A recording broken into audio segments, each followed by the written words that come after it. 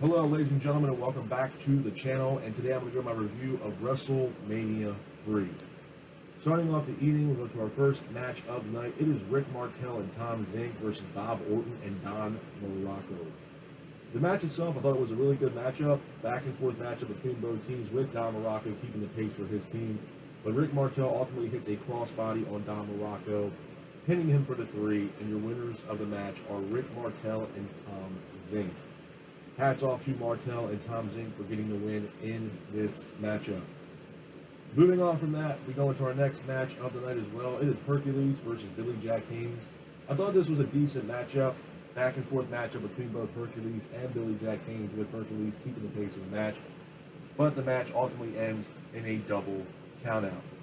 The only thing I'll say about this match, man, to me, is I wish this match was a clean finish, man, because this would have been one crazy match. But again, we ended up getting a double countout. Moving on from that, we go into our next match of the night. It is Hillbilly Jim, Haiti Kid, Little Beaver versus King Kong, Little Tokyo, and Lord Littlebrook. I thought it was an okay matchup, back and forth matchup between both teams with King Kong Bundy keeping the pace of the match. But Hillbilly Jim, uh, Haiti Kid, Little Beaver end up getting the win in this matchup. matchup. Um, hats off to them for getting the win in this match. Moving on from that, we go into our next match of the night. It is Junkyard Dog versus Harley Race. Um, I thought this was a good matchup, back and forth matchup between both Junkyard Dog and Harley Race with JYD keeping the pace of the match. But Harley ends up hitting a devastating belly-to-belly suplex on Junkyard Dog, pinning him for the three, and your winner of the match is Harley Race. Again, hats off to Harley Race for getting the win in that matchup. Moving on from that, we go into our next match of the night. It is the Rougeau brothers versus Greg the Hammer Valentine and Brutus the Barber.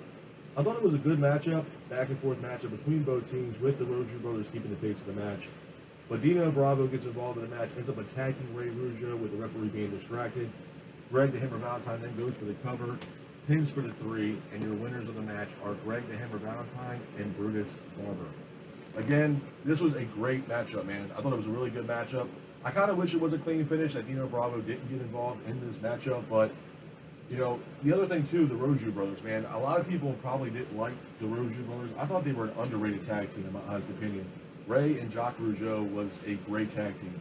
They really were. And to be honest with you, I mean, obviously, Jacques Rougeau had a more long-lasting career in professional wrestling than Ray did. Ray kind of went off and did commentary and stuff like that, but uh, the Rougeau brothers to me were underrated. The amount of, you know, the tag matches they had, you know, the Hart Foundation, you know, Demolition, so on and so forth. You got to, you know, give them credit where credit's due, man. They were definitely one of those underrated tag teams that, to me, honestly, didn't get a fair shake in professional wrestling, in my honest opinion. But uh, hats off to Greg Valentine and Brutus Barber for getting the win in this matchup. Moving on from that, we go into our next match of the night. It is Roddy Piper versus Adrian Adonis in a hair versus hair match. Um, this was a good matchup, back and forth matchup between both Piper and Adonis, with Piper keeping the pace of the match. But Piper ultimately applies his signature sleeper hold on Adrian Adonis, and your winner of the match is Roddy Piper. A couple things I'll say about this match, man. Number one, the way they were building this matchup, this was supposed to be Piper's last match. This was his retirement match um, which obviously he didn't fully all retire after this match. And this was the match to me. I maybe stated this like maybe last week or something like that, a couple days ago. Um, this was the match where Adrian Adonis got his haircut and just completely freaked out and just went off. And he was going after you know Roddy Piper and Brutus Barber was ringside. He ended up coming into the ring and cutting the hair of Adrian Adonis, and he just completely flipped out. It was absolutely hilarious. Um, but again, hats off to Roddy Piper for getting a win in this matchup.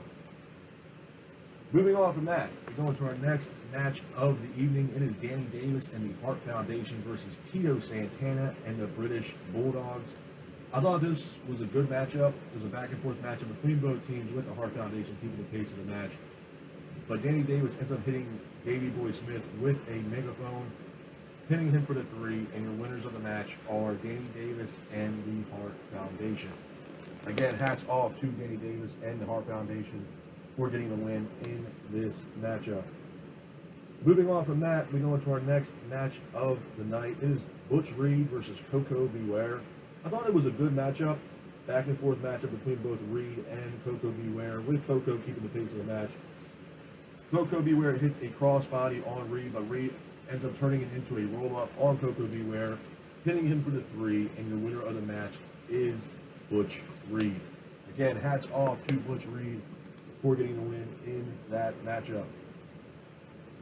Moving on from that, we go into our next match of the night as well. And to me, honestly, I'm not trying to be biased here, but to me, this was the main event of WrestleMania 3. It is Randy Savage defending his Intercontinental Championship against Ricky the Dragon Steamboat.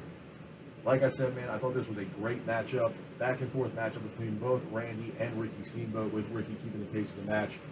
Ricky ends up hitting a roll up though on Randy Savage, pinning him for the three, and your winner of the match, and at that time new Intercontinental Champion, is Ricky the Dragon Steamboat. A couple things I'm going to say about this match. You know, number one, like I just said earlier, this should have been the main event of WrestleMania 3, hands down. Not, not taking anything away from Hogan and Andre. This match, to me, is one of the greatest matches I've ever seen. I mean, both, you know, the storyline itself, Ricky coming back from injury, you know, that he sustained from Randy Savage, and his coming back, you know, obviously coming down to the ring with George the Animal Steele, um, and Randy Savage. You know, I mean, people can say what they, you know, what they want about Randy Savage, but there will never be another uh, wrestler like Randy Savage ever, ever, hands down. And you know, just how you know, and there's been so many documentaries that have come out about this match and how Randy really wanted to pinpoint every single thing about this match from top to bottom. And I mean, they just put on one crazy performance for the fans at WrestleMania 3. And in my honest opinion, like I said, and I'm going to say it one more time, this should have been the main event of WrestleMania 3. But hats off to Ricky the Dragon Steamboat for getting the win in that matchup, and at that time becoming the new Intercontinental Champion. Moving on from that, we go into our next match of the night. It is Jake Roberts versus Honky Tonk. I thought it was a good matchup, back and forth matchup between both Roberts and Honky Tonk, with Jake the Snake Roberts keeping the pace of the match. But Honky Tonk ends up hitting a roll up, pins for the three, and your winner of the match is Honky Tonk. Hats off to Honky Tonk for getting the win in this matchup.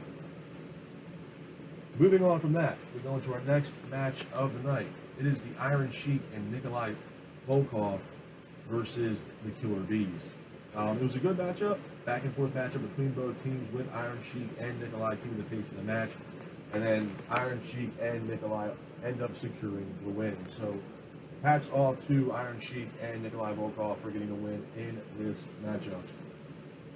Moving on from that, we go into the main event of WrestleMania 3. It is Hulk Hogan defending the WWE Championship against Andre the Giant.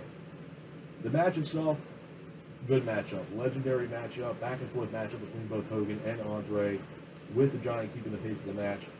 Hogan ends up hitting a pretty big scoop slam on Andre the Giant. The crowd completely erupted after that.